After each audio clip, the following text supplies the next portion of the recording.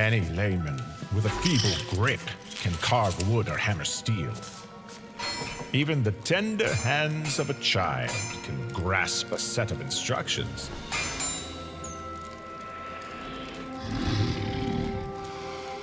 But to create something takes rare hands, shrewder hands, handsome, brilliant hands. The hands that forged the first scepter of power.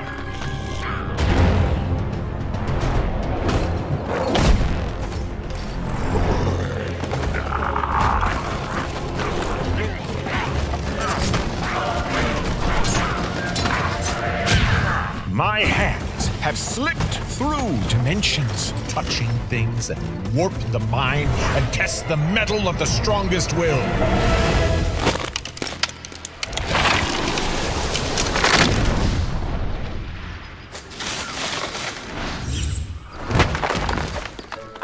From the far reaches of the astral plane, beyond countless dimensions, monsters, beasts, beasts without legs, beasts that are only legs, heroes that aren't heroes at all.